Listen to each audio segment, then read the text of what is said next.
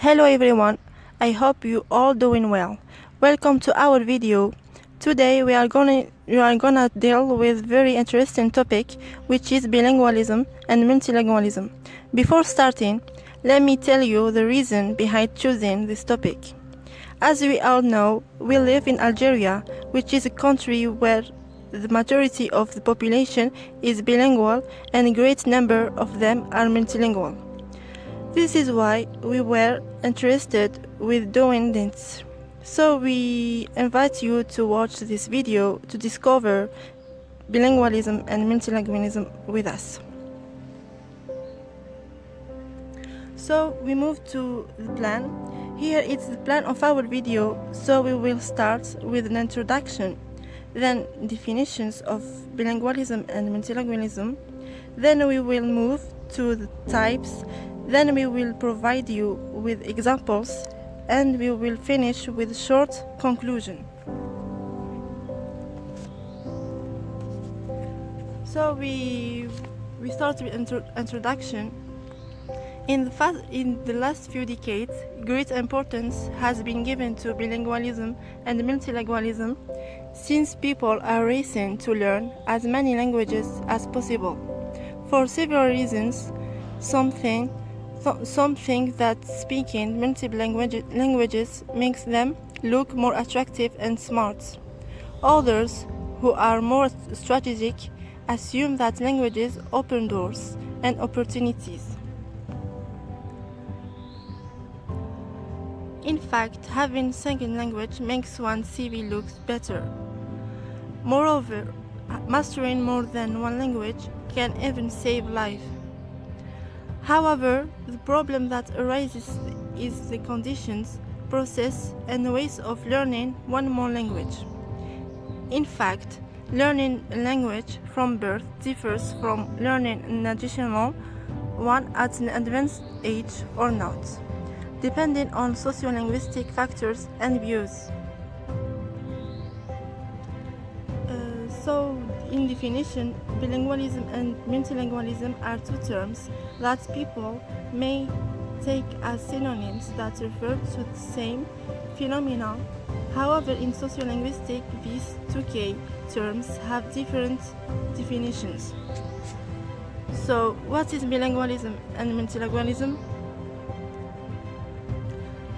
Uh, the first, uh, we start with bilingualism.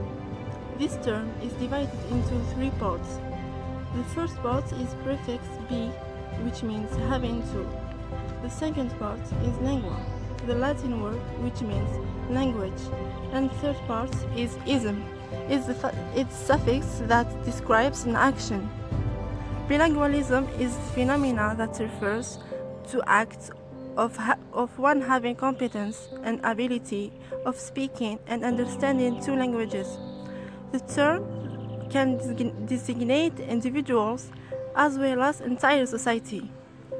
It can also refer to re- relevant sci- scientific research that studies the phenomena itself.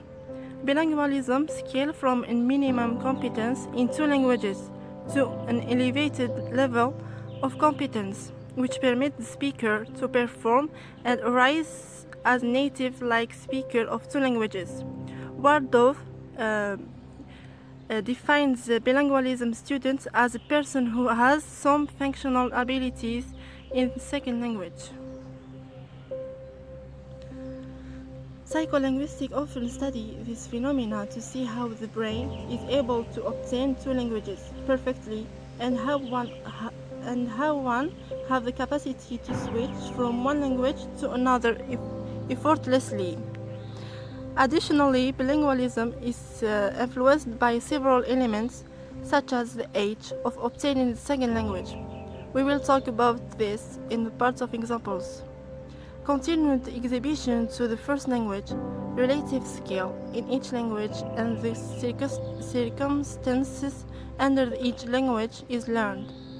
And in, and in each language, bilingual person might be str- strongly qualified in only one field of skills and not in the other. For example, a person might might prove high, oral language skill and limited reading skill. And finally, being bilingual can have positive and negative consequences for language skills. So it is important to include the degree of competence in each language is learned because educational de decisions depends on the accuracy of these conditions. The tables that, that show what people uh, should know uh, that children can learn several languages from birth. Uh, monolingual parents uh, who speak only one single language can can raise bilingual or multilingual children. Also, bilingualism and multilingualism don't trigger, trigger speech problems or delay. Uh, also, even children with special needs can learn several languages and become bilingual or multilingual. Uh, and what people should not believe in order to be bilingual or multilingual, the, the child is required to be extremely smart. Also, bilingualism and multilingualism cause problems and confusion. In order to become bilingual or multilingual, watching TV is enough. A person is considered as bilingual or multilingual only if uh, he, if he or she has perfect accent. Here is a picture that illustrates two bilinguals, two bilingual kids. Also, the second picture that uh, illustrates mom and her daughter. daughter.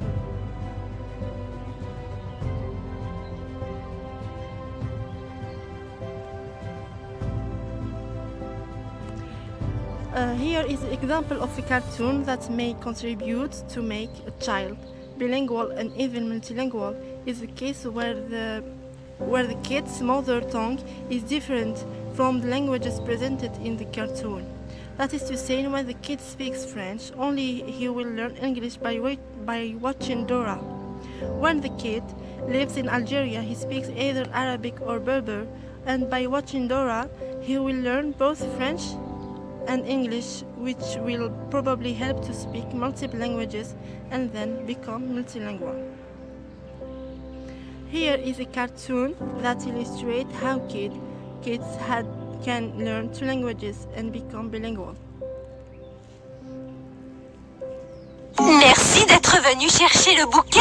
Oh, Madame La Fontaine, venez assister à mon mariage, je vous invite. Oh, really?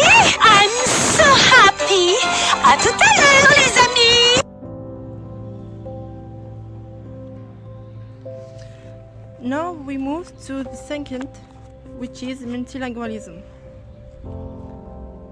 Uh, second, uh, this term is also divided from two Latin words. The first part is multi, which means many, and the second part is lingua, which means language. The term is known as polyglottism. It refers to the capacity of mastering one more than uh, two languages, either by an individual or by a speech community. Multilingualism is attendance of amounts of language in one country or community or city, and it is practice or the practice of three or more languages. Also, its capacity to speak various languages.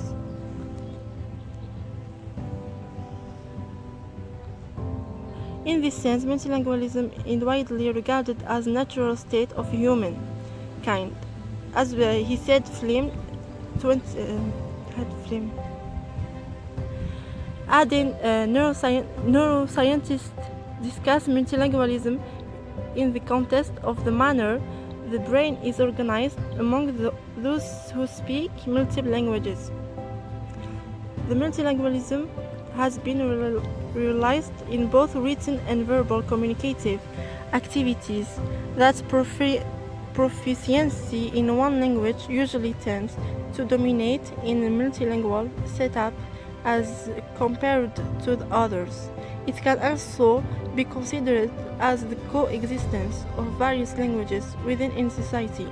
These various languages can be official or unofficial, native or foreign, and national or international.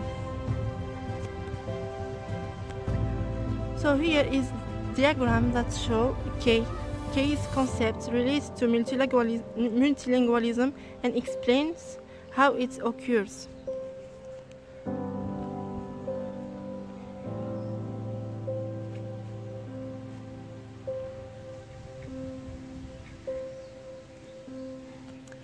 Here it's a picture that illustrates the multilingualism girl.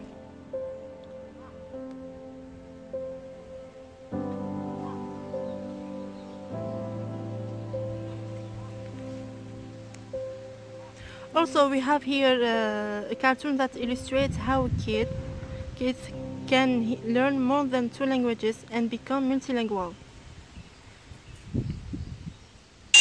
So simple! It's genius! شكرا حسنا إلى اللقاء Беше едновременно мила и груба в същото време. Ja, Alibi se i hotlavi. Det er da klart. Kaste flaske er sommerens allerstørste hit. Sommerens allerstørste hit. Uitje. Ik heb opeens een geweldig idee. Jij ook? Ai myydä pulloja koppipulloiksi. Aivan kakone.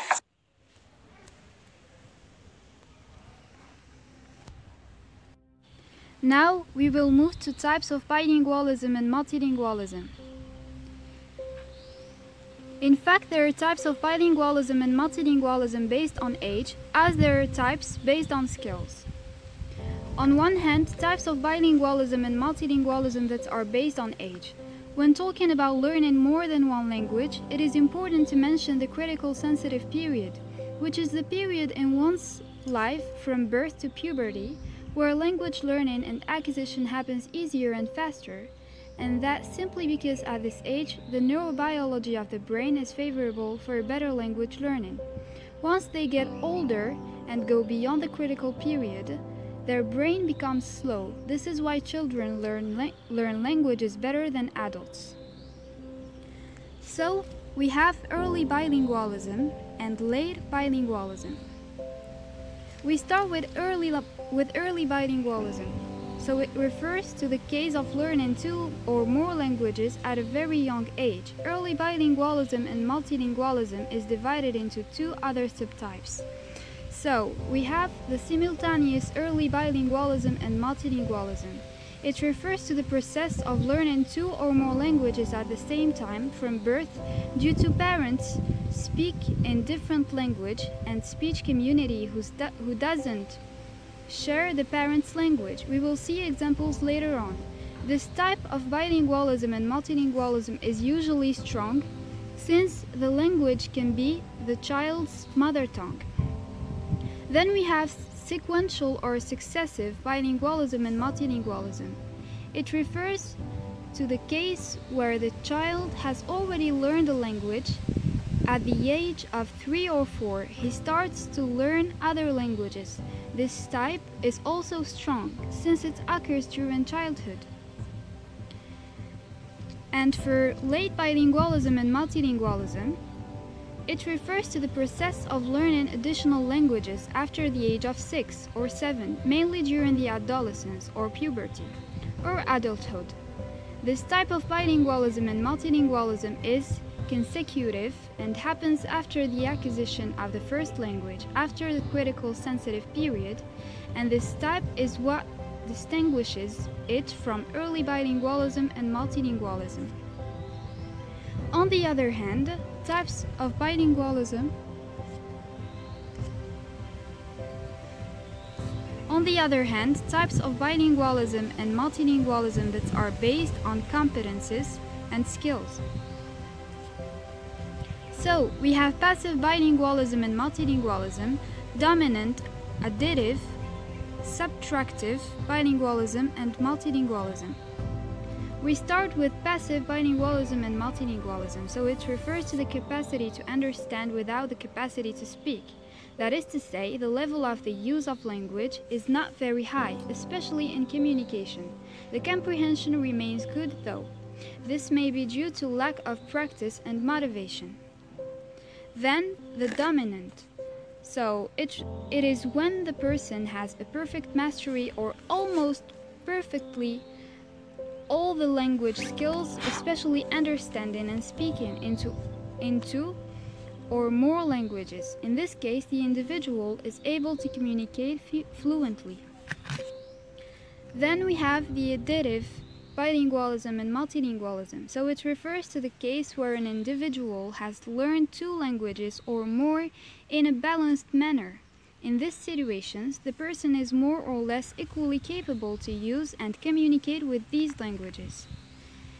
And finally, we have the subtractive bilingualism and multilingualism. So it refers to the situation where the person learns an additional language regardless and to the determinant of the first language, which leads to the, with, to the degradation and deterioration of the later, while the mastery of the dominant language increases. These two concepts were created by Wallace Lambert, a Canadian researcher who has been called the father of bilingualism research.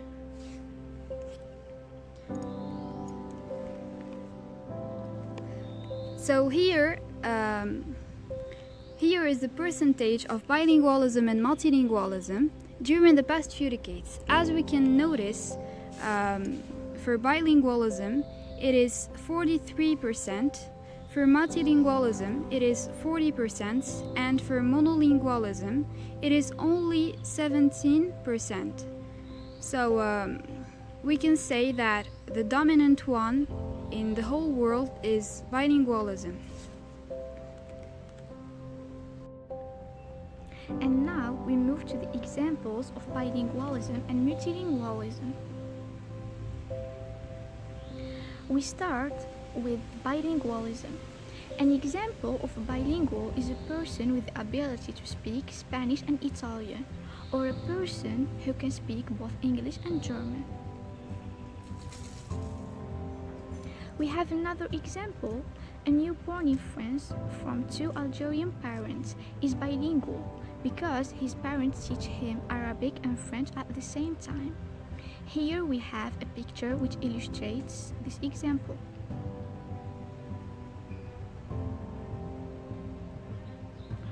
Also, an Indian child who has recently arrived to England will become bilingual because he will study in an English school. We have also people of Canada are bilingual because Canada is a bilingual society which acknowledge and uses French and English as official languages and languages of interaction. We have also Nigeria is an example of bilingual society which assigns different roles to both the official language and the regional language. English has the role of official language while the regional languages have the roles of interaction. We move to the multilingualism. Most of the Kabyle Algerians are multilingual people since they speak two native languages, Arabic and Kabyle, and one or more foreign languages, for example English and French. Also, we have some countries have official languages but also have regional and local official languages such as China, Mexico, and Russia. Then we have a person lives in a country influenced by other cultures and eventually other languages. He will become multilingual.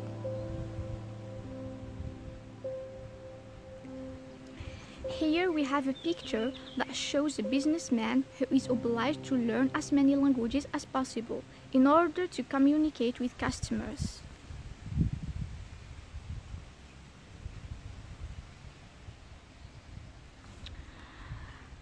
We have a Spanish speaking father married to a Quebec speaking mother, with the family living in Canada, where the community language and primary language of education are English and French. If their child goes to a Canadian medium school from a young age, then multilingualism will be the result. Uh, here we have uh, some uh, multilingual countries. For example, Algeria has Arabic as an official language, French, and Berber language. Egypt has Arabic and as an official language, English, French, and Egyptian Arabic. Chad has Arabic and French as official languages and more than 100 African languages.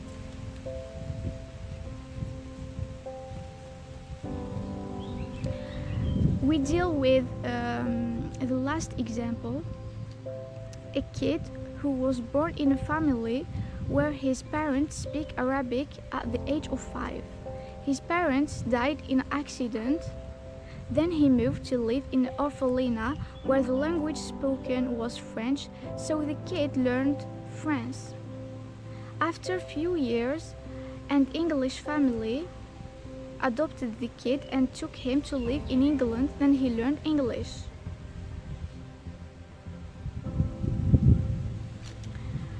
Conclude, there is no doubt that bilingualism and multilingualism have much in common. Both are defined as the ability in an individual to use at least one language in addition to the mother tongue, or in a community or a country, the use or existence of more than one language. But similarity does not mean identity. The distinction between the two is becoming increasingly apparent. Thanks for watching. We have we hope you enjoyed our video and you learned at least something. Please don't forget to comment and share.